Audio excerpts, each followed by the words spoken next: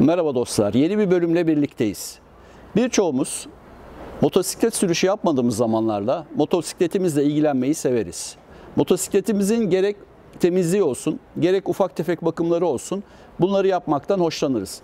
İşte zincirin temizlenmesi, yağlanması, e, motorumuzda herhangi bir şekilde gevşeyen e, bir yer varsa, sıkılması gereken yerler varsa bunların sıkılması e, durumlarını buna sayabiliriz. Ama iş hava filtresinin değişimi, işte yağ filtresinin değişimi, yağ değişimi, e, ne bileyim hidrolik sıvısının değişimi gibi e, işlemlere geldiğinde bu gibi bunları genellikle servislerde yaptırıyoruz. E, tabii şöyle bir durum var. Eğer elimiz anahtar tutuyorsa, imkanımız varsa, bununla ilgili yerimiz varsa e, bu gibi e, bakımları aslında kendimiz de gerçekleştirebiliriz. Dolayısıyla bunu gerçekleştirebilmek için öncelikle tabii ki motorumuzu e, iyi tanımamız gerekiyor. İşte yağ filtresi nerededir, hava filtresi nerededir, e, yağı nasıl değişir, e, ne bileyim soğutma suyu nasıl değişir e, bunları bilmek gerekiyor. Hayat Motorla Güzel kanalı olarak biz de bu duruma bir parmak basalım dedik e, ve kendimizin e, yapabileceği, gerçekleştirebileceği hava filtresi, yağ filtresi, e, motor yağı değişimi, soğutma suyu değişimi ve e, hidrolik sıvısı değişimi e, adımlarını sizlerle paylaşalım istedik. E, bu bölümümüzde hava filtresinin kontrolü ve değişimiyle başlayacağız. Ve e, bir sonraki bölümlerde de adım adım e, tüm kontrolleri ve değişimleri gerçekleştirmiş olacağız. Motosiklet bakımı demişken sizlerle de şu bilgiyi paylaşalım. E, motosikletimiz üzerinde iki tip parça bulunuyor. Bunlardan bir tanesi arızalanmadıkça değişmeyen e, ve yedek parça kapsamına giren parçalar. E, diğeri ise bakım aralıklarına göre değişmesi gereken parçalar. Bu bakım aralıklarına göre değişmesi gereken parçaları biz e, sarf malzemesi olarak tanımlıyoruz. Bu serimizde aslında sizlerle bu sarf malzemelerinin bakım aralıklarına uygun olarak nasıl değiştirilmesi gerektiğini paylaşmaya çalışacağız. Tabii şimdi benim motorum NC750X olduğu için ben bu motor üzerinde bu bunları gerçekleştireceğim. Farklı marka motorları olan arkadaşlar için de en azından bir ışık tutmuş olacağım. Dediğimiz gibi herkes tabii ki motoru tanımak, bilmek Burada önemli. Yani hangi parçayı nasıl sökeceğini bilmek önemli. Eğer bununla ilgili bilginiz yoksa bu durumda yetkili servislerde bu işlemleri yaptırmanız e, uygun olacaktır. Biz sadece burada bu işi yapmak isteyen arkadaşları bir yol göstermek için bu seriye başladık. E, o zaman gelin birlikte bu bölümümüzde hava filtresinin nasıl e, söküleceğini, nasıl oluşacağımızı ve bununla ilgili kontrollerimizi nasıl yapacağımızı görelim. Evet dostlar, şimdi hava filtremizi e, kontrol edeceğiz. E, NC750X 2017 model benim motosikletim e, ve öncelikle bagaj bölümünün kapağını açıyorum. Şimdi hava filtresi şu bölümde yer alıyor. Dolayısıyla şurada görmüş olduğunuz parçaları hepsini sökmem gerekecek buraya ulaşmak için. Tabii biz bunun kolay olacağını da söylememiştik videomuzun başında. Ee, çok kolay değil bu modellerde ama en azından sizlere bir örnek olması, teşkil etmesi açısından e, bu işlemi birlikte bir gerçekleştirelim. Öncelikle şu açtığımız zaman şu bölümlerde iki tane vida görüyoruz. Bunları sökeceğiz yıldız tornavida ile.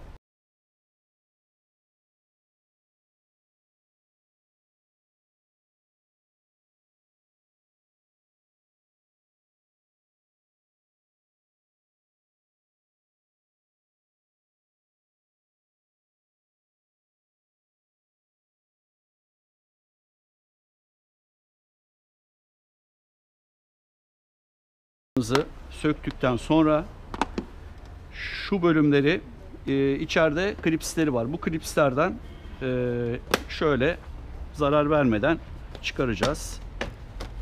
Şöyle bakın. Evet. Kırmamaya özen göstermemiz gerekiyor. Evet şöyle söktük bakın klipsler burada. Aynı şekilde. Evet şu şekilde alıyoruz. Şimdi şurada iki tane e, dübelimiz var. Bu dübellerin özelliği şu içerisindeki pimleri aşağı doğru ittiğimiz zaman bunlar boşa çıkıyor. Hemen şöyle bakın. Gördüğünüz gibi Honda mühendisleri burada çalışmışlar. Evet bunları da aldık. Yine şurada da bakın.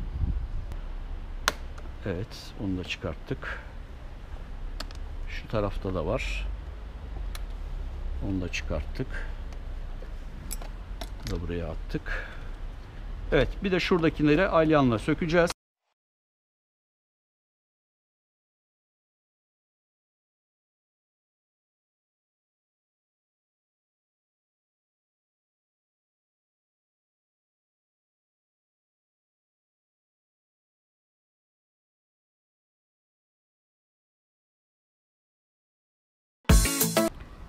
Yine şu altta da dübellerimiz var. Kilitli dübel. Onları da çıkarıyoruz.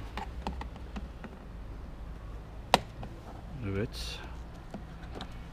Onları da alalım. Şuradan dikkatlice. Evet. Burası şu anda ne yaptı? Rahatladı mı? Şunları sökersek rahatlayacak.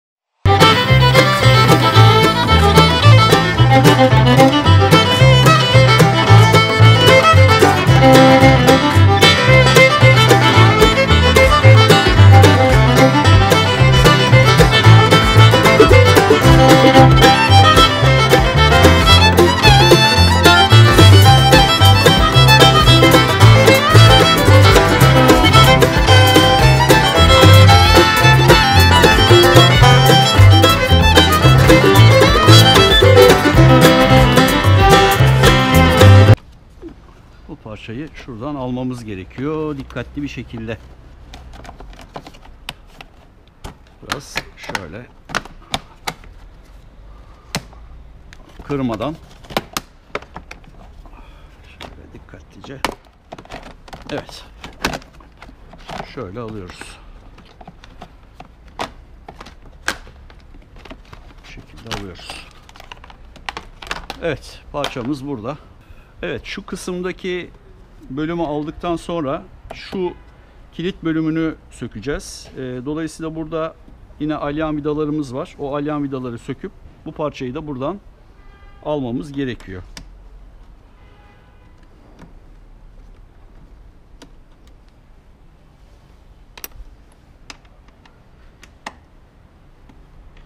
Evet bu işlem servise gidildiği zaman eğer hava filtreniz değişecekse servis tarafından gerçekleştiriliyor. Biz şimdi servise gitmedik. Kendi hava filtremizi kendimiz e, nasıl kontrol edebiliriz ve değiştirebiliriz? Onun uygulamasını yapıyor, yapıyoruz. E, tabii keşke daha kolay bir yöntemi olsaydı. E, benim mo- motosikletim için ama maalesef böyle değil işte. Zor. E, hava filtresine ulaşmak. E, otomobillerde biliyorsunuz bu çok kolay. Hemen 2-3-4 klipsi söküp alabiliyorsunuz. Hava filtresine ulaşabiliyorsunuz. Ama motosiklette maalesef öyle değil. Evet, şu bölümü de aldık. Şöyle burada şimdi şunu da alacağız mecburen ki gelsin. Kilitle beraber bagaj kilidini sökeceğiz. Evet, Evet burası bayağı sıkılmış.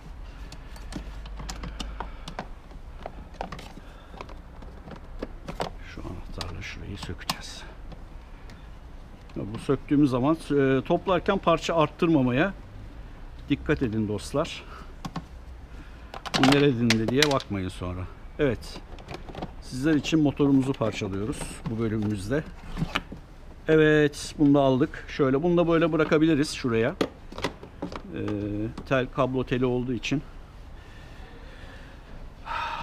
Evet, hava filtre kutumuzu e, karşımızda bulduk şu anda. Gördüğünüz gibi burada. Ee, yani ya emiş kısmı bakın emiş borusu. Şuradan hava emişi yapıyor. Şu önden gelen açıklıktan gelen havayı emerek, e, süzerek motora temiz hava gitmesini e, sağlıyor.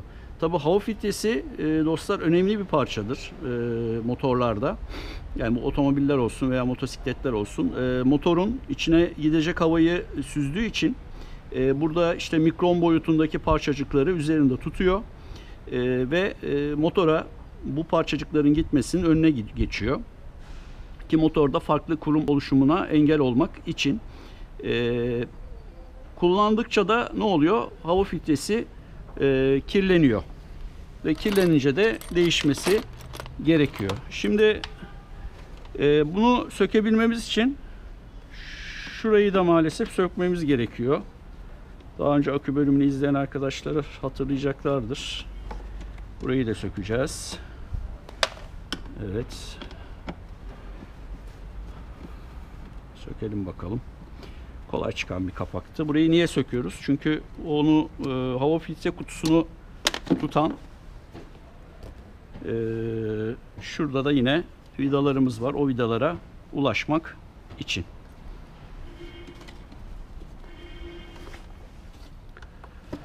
Şimdi şu kapağı alacağız. Hava filtre kutusunun kapağı. Dolayısıyla kapağı sökebilmemiz için şuradaki vidaları söküyoruz.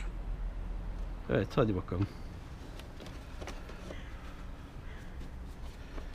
Bayağı söktük yani.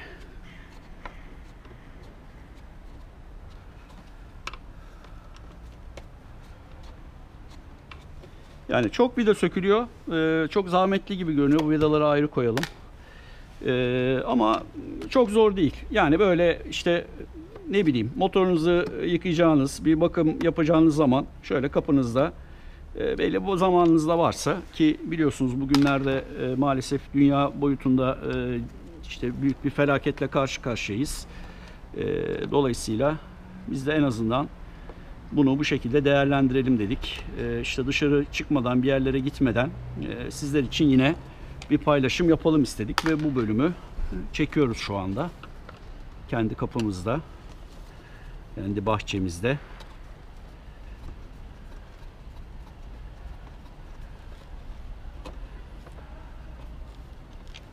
Evet. Evet ne kaldı? Şuradan ulaşabileceğiniz yine iki tane vida var. O vidaları da söküyoruz. Ne durumda? Evet arkadaşlar şöyle geliyor. Tabi şurada bir şeyimiz var. O klipsi sökmemiz lazım. Bir sensör var. Emiş sensörü muhtemelen. Ee, evet. Bunu söktük. Artık parçamızı buradan alabiliriz. Akış bölümü burada. Hava filtremiz nerede? İşte burada. Evet şöyle bakalım. Pahalı bir parça biliyorsunuz. Ee, ne kadar bir zaman ne kadar zamanda bir değişmesi gerekiyor? Genelde önerilen e, iki bakımda bir yani 12 bin kilometre yani ilk başladığınız zaman işte 6000 6000 biliyorsunuz bunlarda NC'ler için.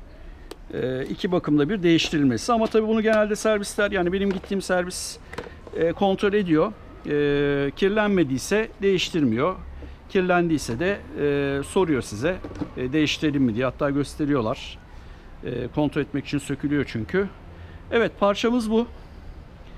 E, hava filtremiz bu. Gördüğünüz gibi gayet temiz. Niye temiz? Çünkü e, ben son bakımda değiştirtmiştim bunu. E, dolayısıyla herhangi bir kirlilik yok ama çıkan e, oldukça kirliydi. E, ve ne kadar şu an işte 12 bin e, bakımı yapmıştık en son. O 12 bakımda bayağı kirlenmişti. Burada normal dışarıdan gelen tozla, tozla birlikte e, motor buharını da içeri verebiliyor. Bir yağ tabakası da oluşabiliyor. E, dolayısıyla burada tabii biz temiz görüyoruz ama şunun içerisinde mikro gözenekler olduğu için bu mikro gözenekler zamanla doluyor.